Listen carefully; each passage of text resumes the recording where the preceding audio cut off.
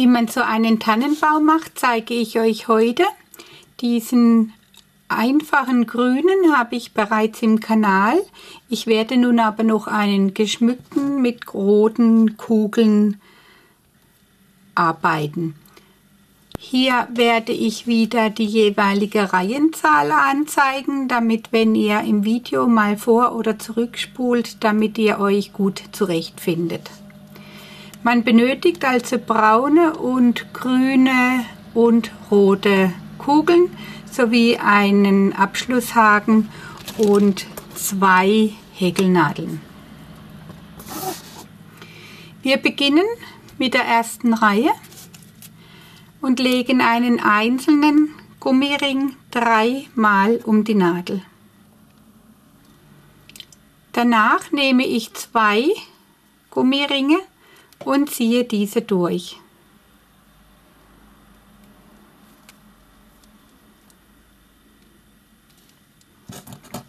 Dann nehme ich nochmal einen einzelnen Gummiring und lege diesen dreimal um die Nadel.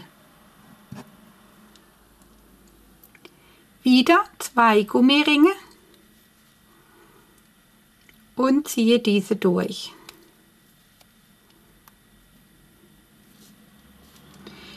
Noch einmal einen einzelnen braunen Gummiring, dreimal um die Nadel legen und zwei Gummiringe durchziehen.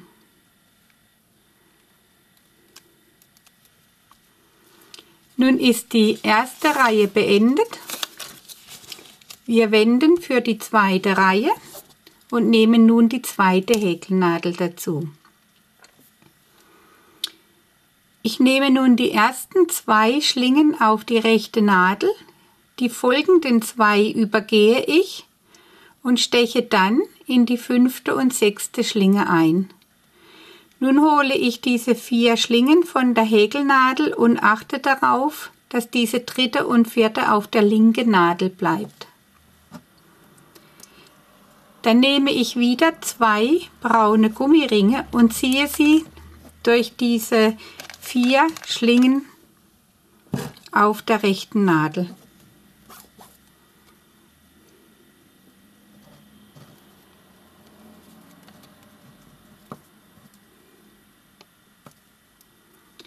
Dann nehme ich wieder die folgenden zwei Schlingen auf die Nadel, übergehe wieder zwei und steche in die nächsten zwei ein und hole diese vier Schlingen von der Nadel und achte darauf, dass ich eben wieder diese zwei übergangenen Schlingen auf der linken Nadel behalte.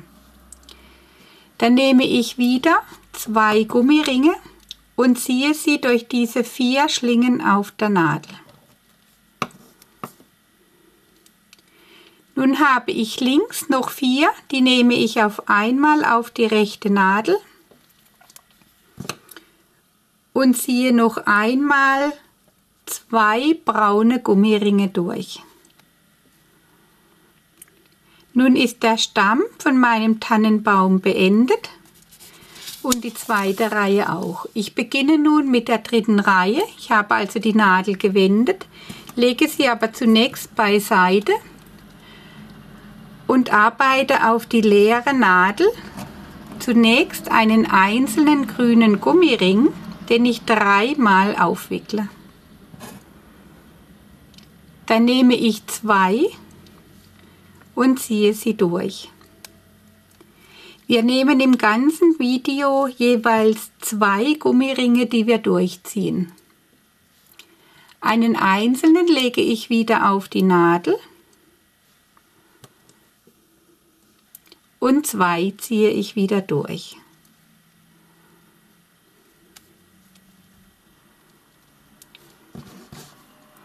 So, nun nehme ich meinen Stamm und hole die ersten vier Steche ein und ziehe zwei grüne Gummiringe durch. So mache ich das noch zweimal. Also jeweils durch vier Schlingen einstechen und zwei Gummiringe durchziehen.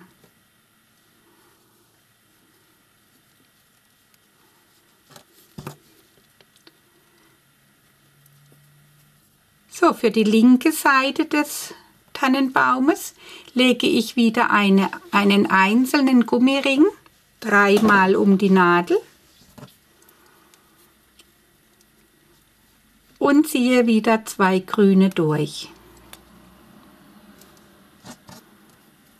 Noch einmal einen einzelnen Gummiring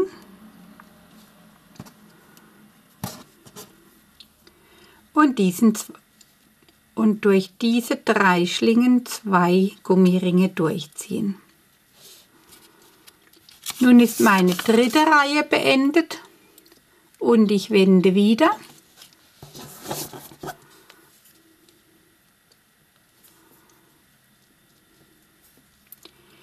Durch, nun steche ich in die ersten sechs Schlingen ein. 2, 4, 6 und ziehe wieder zwei Gummiringe durch.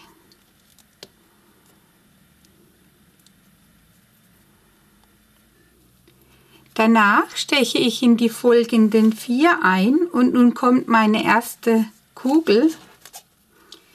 Hier nehme ich vier rote Gummiringe und ziehe diese durch.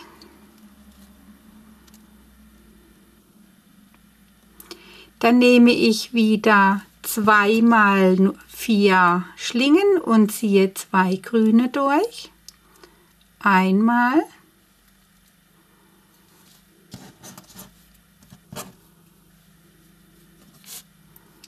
Zweimal. Und die folgenden vier, dann nehme ich wieder vier rote Gummiringe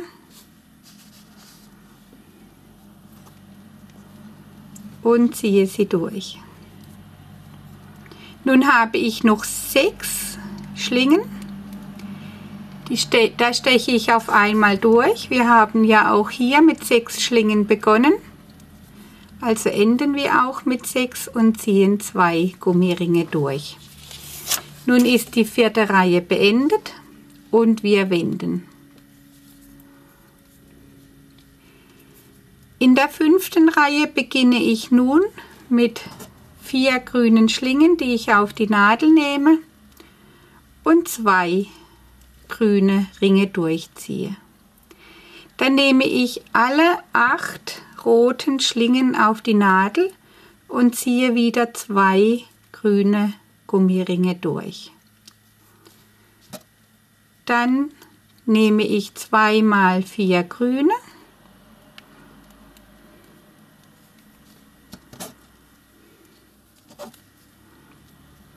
Nun kommt wieder ein Schmuck, also eine Christbaumkugel soll das darstellen und wieder zwei grüne durchziehen und auch am Ende wieder vier Schlingen, durch die zwei grüne Gummiringe gezogen werden.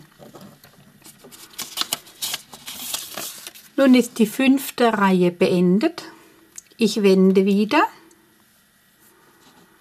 und beginne nun wieder mit sechs Schlingen, durch die ich zwei Gummiringe durchziehe. Dann wieder vier.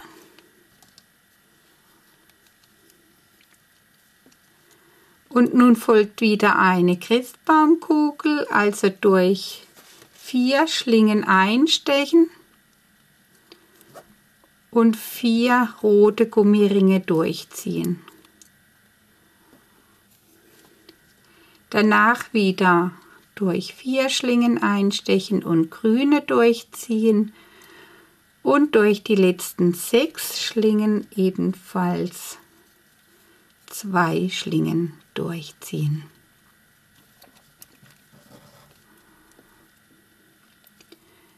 Nun wenden wir und kommen zur siebten Runde. Hier nehmen wir wieder vier Schlingen auf die Nadel und ziehen zwei Gummiringe durch. Nochmals vier.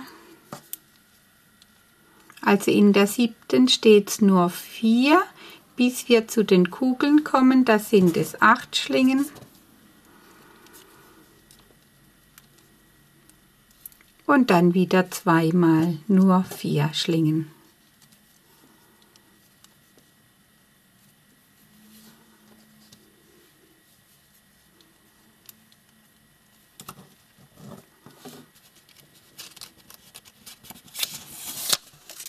Nun kommen wir zur achten Runde. Hier nehmen wir sechs Schlingen auf die Nadel und ziehen zwei Schlingen durch.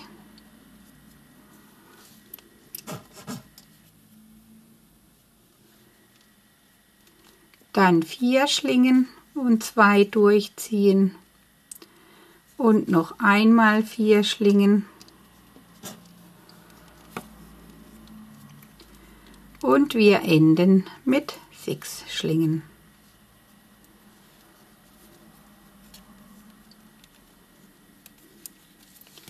So, nun ist die achte Runde ebenso beendet. Wir sind jetzt hier bei der nächsten Zacke. Deshalb beginnen wir zunächst bei der neunten Runde mit einem einzelnen grünen Gummiring und ziehen zwei Gummis durch.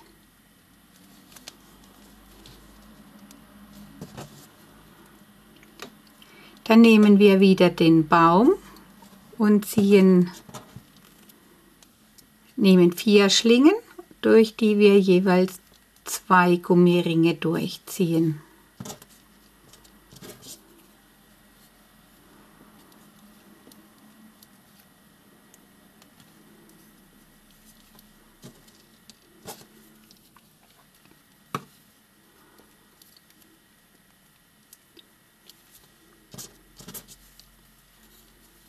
Und am Ende der neunten Runde nehmen wir wieder einen einzelnen grünen Gummiring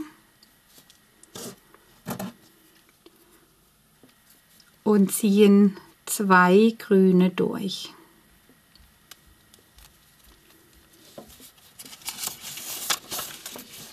Nun wenden wir. In der zehnten Reihe beginnen wir mit sechs Schlingen. Durch die wir eben wie immer zwei Gummiringe ziehen.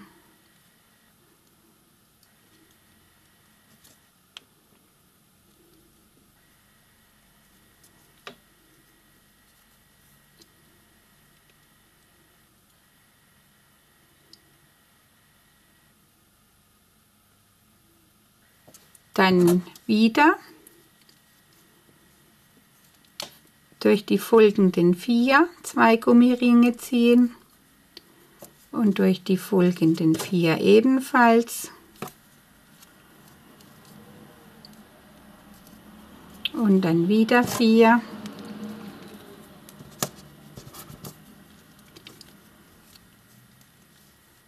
Und wir enden mit 6. So wie wir begonnen haben, enden wir auch. Und wenn wir mit 6 Schlingen begonnen haben, und geendet haben, werden wir nach dem Wenden immer mit vier Schlingen beginnen.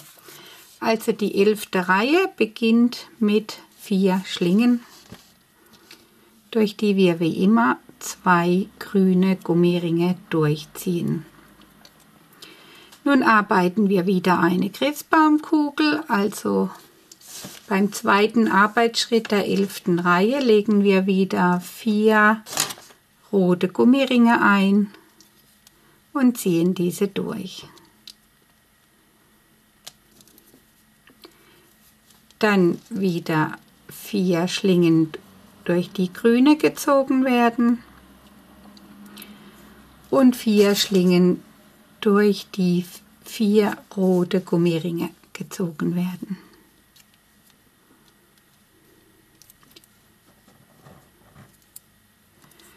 Und wir enden, wie wir begonnen haben, mit zwei Schlingen durch die grüne gezogen werden. Nun ist auch die elfte Runde beendet. Wir wenden.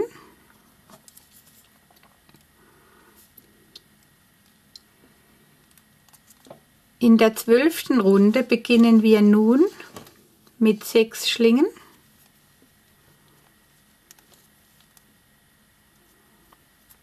Dann mit vier und zwei Schlingen.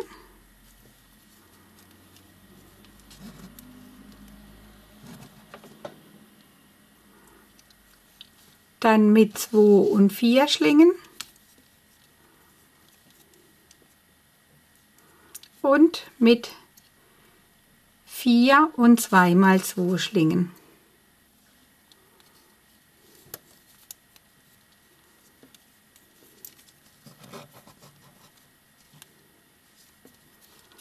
Nun wenden wir und kommen zur 13.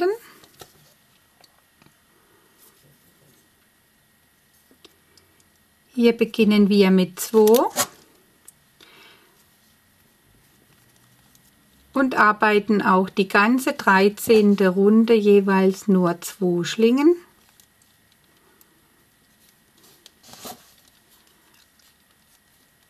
Also zweimal 2 Schlingen und ziehen zwei Gummiringe durch.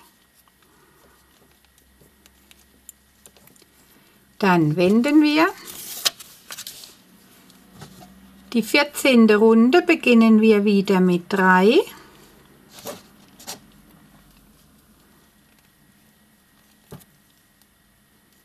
Dann 2.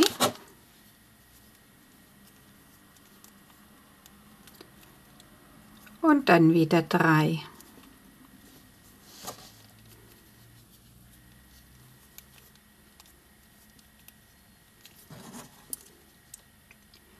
Dann wenden.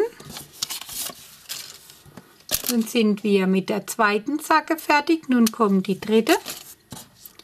Auch die beginnen wir wieder mit einem einzelnen Gummiring, durch die wir zwei Ringe durchziehen.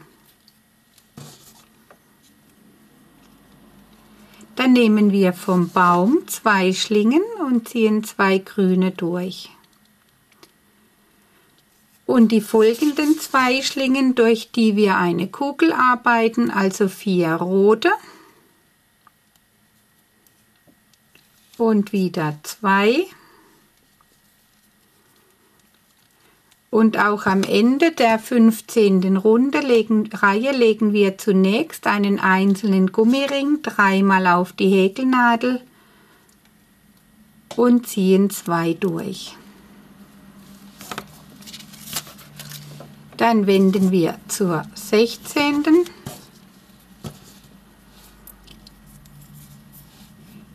Hier nehmen wir zunächst sechs Schlingen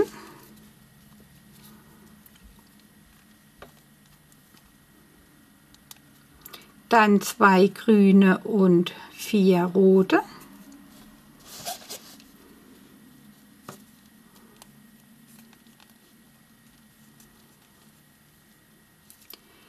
Dann vier rote und zwei grüne.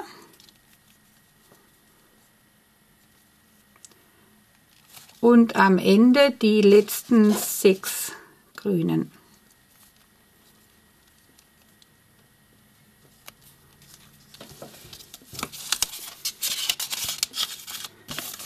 Nun kommen wir zur 17.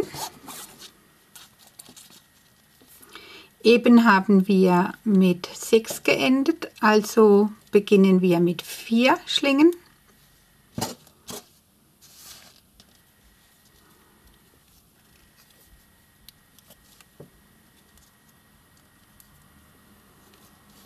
Und das Ganze viermal.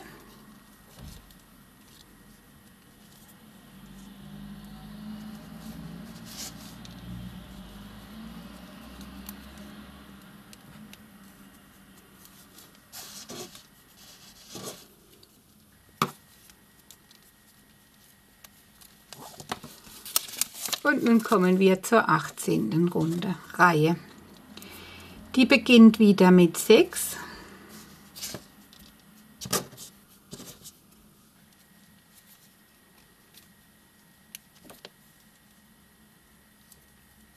dann 2 und endet auch wieder mit 6 Schlingen.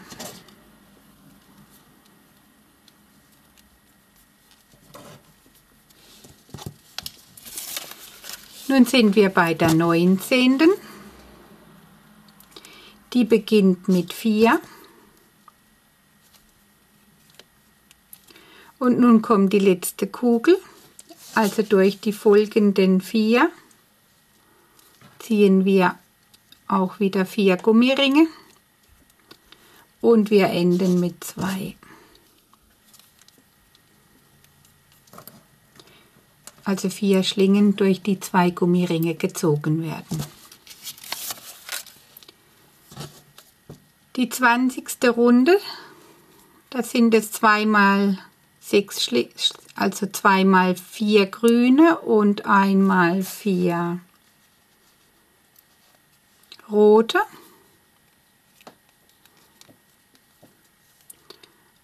Und noch einmal vier rote und zweimal zwei grüne.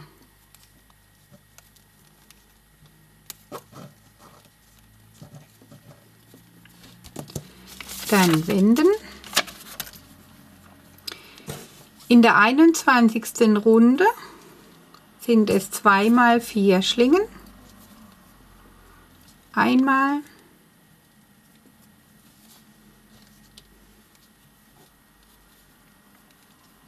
zweimal